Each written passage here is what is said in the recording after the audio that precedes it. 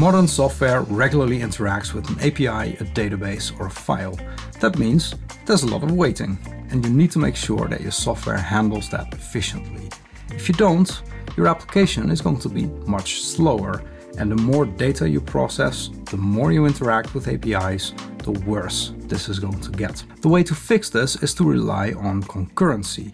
In Python, you use the async IO package for that. I'll give you a brief overview of how that package works, but then I'd like to go a bit deeper and also show you how to turn a regular blocking function into something you can run concurrently which could make your program a lot more efficient. And you don't even have to modify the original function for this. It's really easy. I'll also talk about how concurrency affects your software design and architecture, so make sure to watch this video till the end. If you want to learn more about how to design a piece of software from scratch, I have a free guide for you. You can get this at arjancodes.com slash design guide.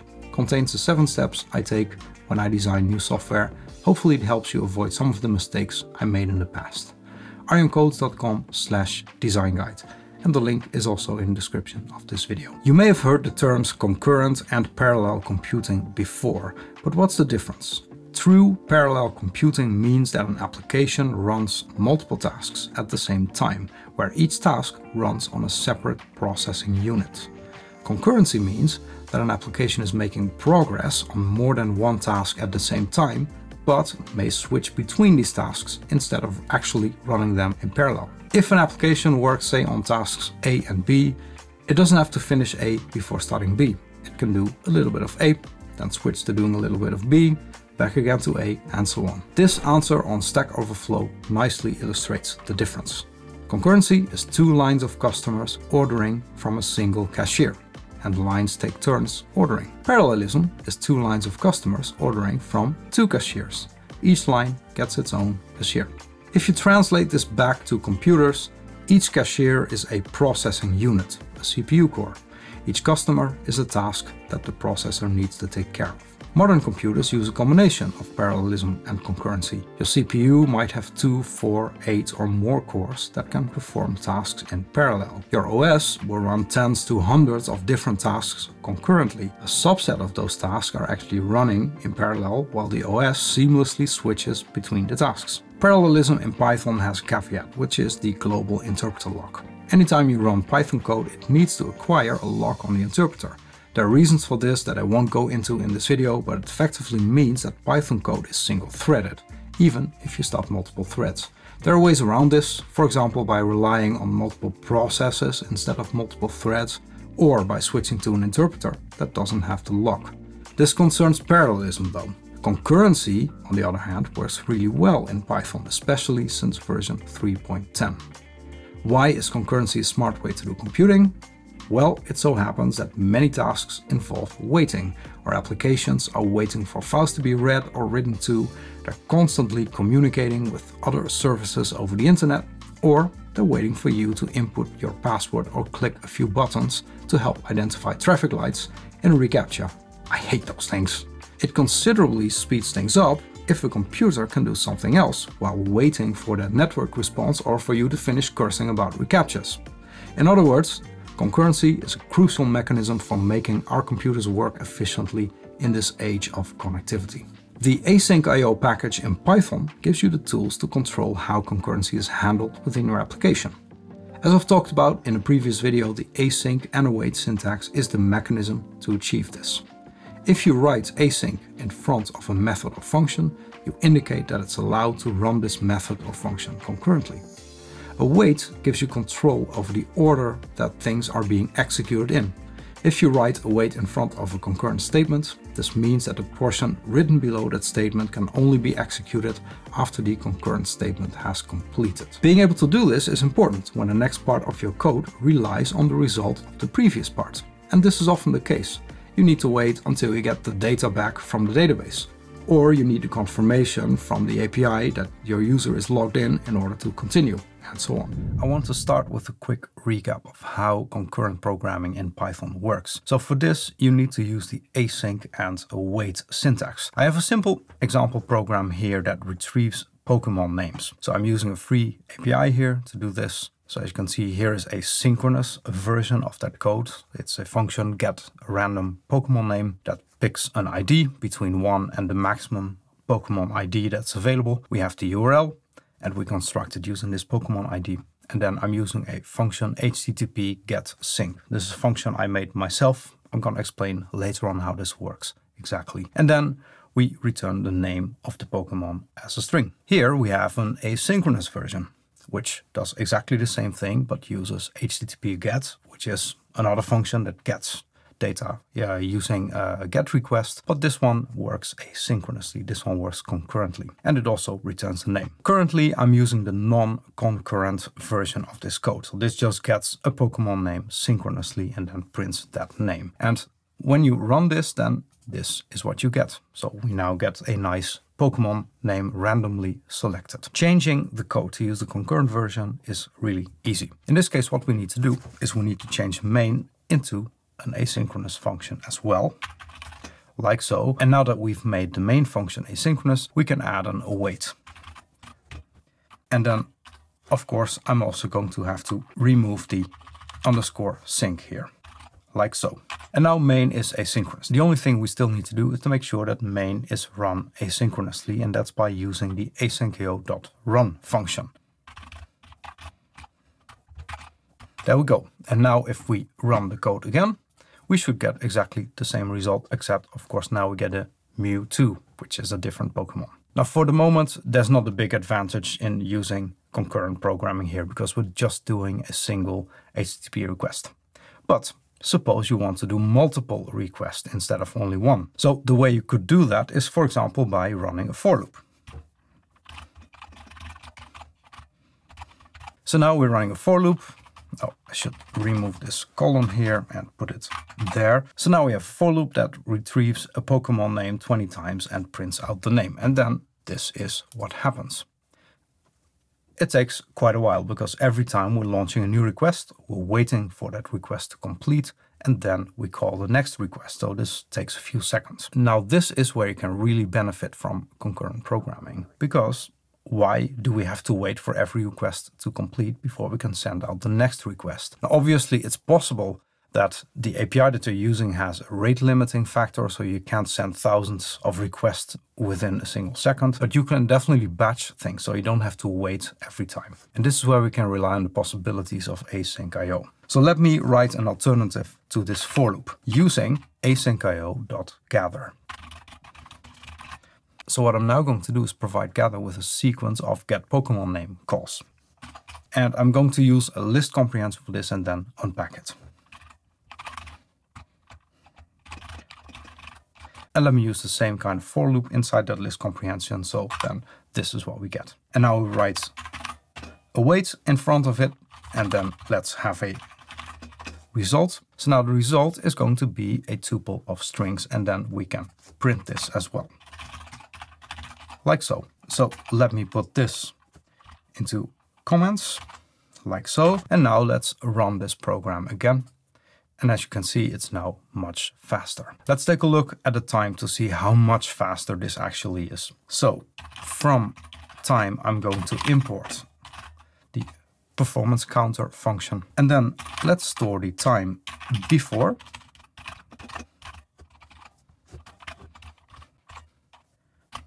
And then let's print the total time in the synchronous case and that's going to be performance counter minus the time before.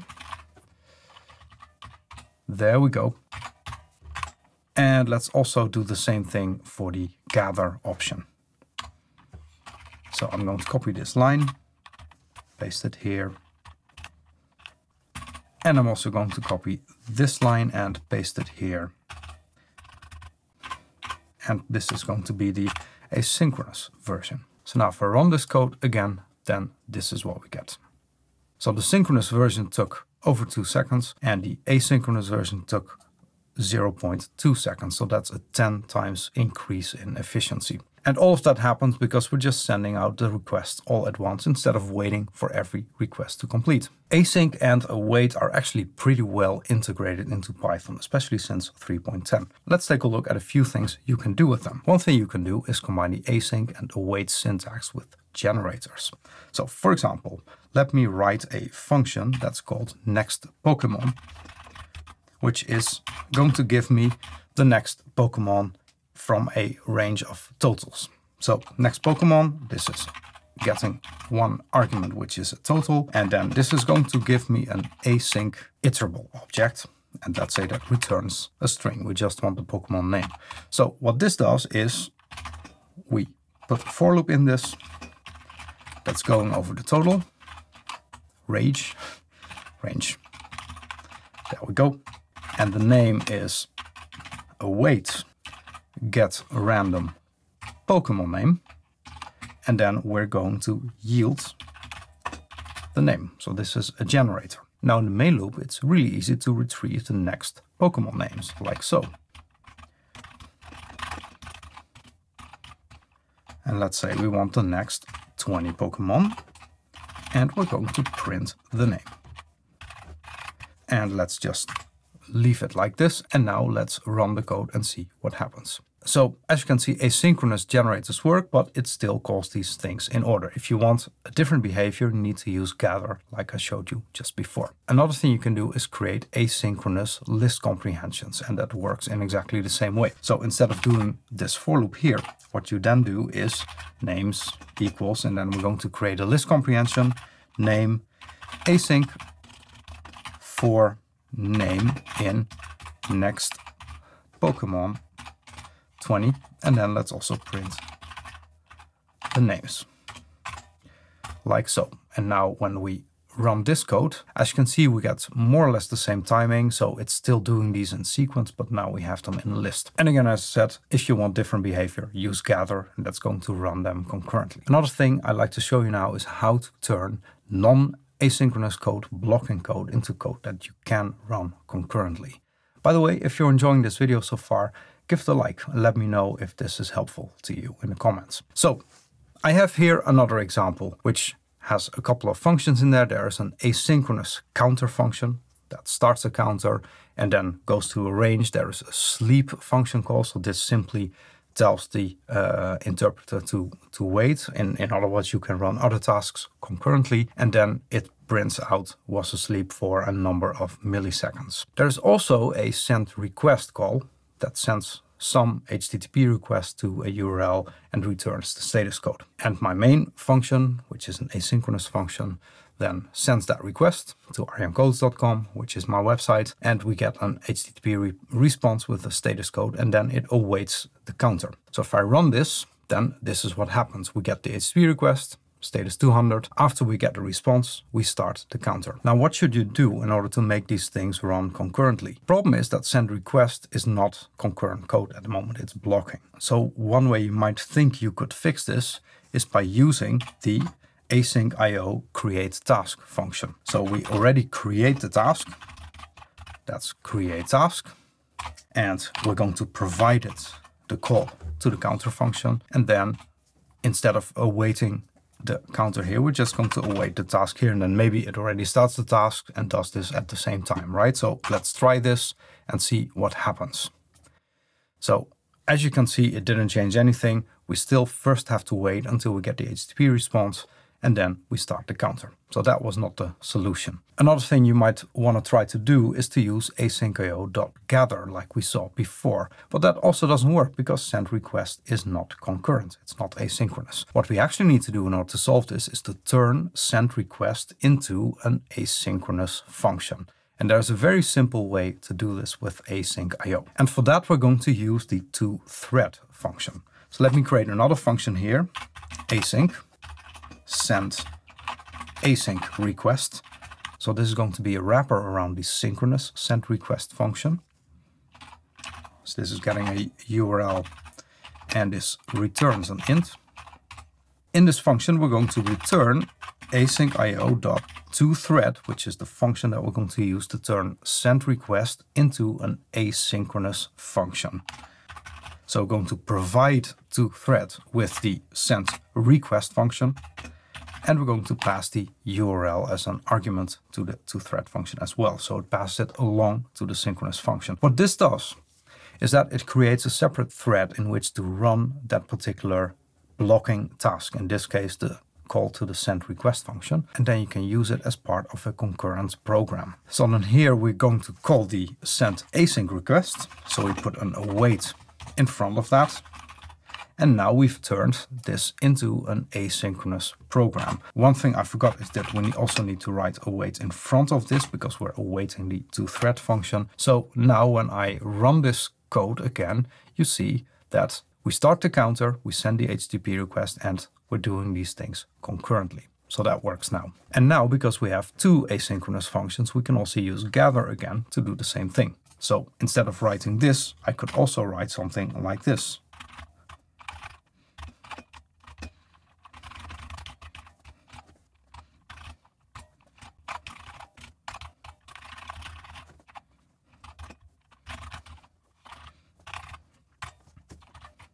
So we're gathering the two function calls and awaiting their result. The second one, counter doesn't return anything, so I'm simply putting an underscore here. And then when I run this, we get exactly the same result. When I started explaining the Pokemon example, I used an HTTP GET and an HTTP GET function that I said I coded up myself. So what does it look like? Well, that's in this module. And these functions are actually really simple. So I'm using the requests package to do HTTP requests. So I have a synchronous version here that calls the get function of the request package and then returns the response as a JSON object. And I have an asynchronous version that uses asyncio.toThread that calls this function, but then turns it into something that you can run concurrently. So as you can see, this is really easy to use, really easy to set up. You can use this kind of approach whenever you need to interact with an API and it's going to help you make your code run much more efficiently because you can group API calls, which will save you a lot of time waiting for the result.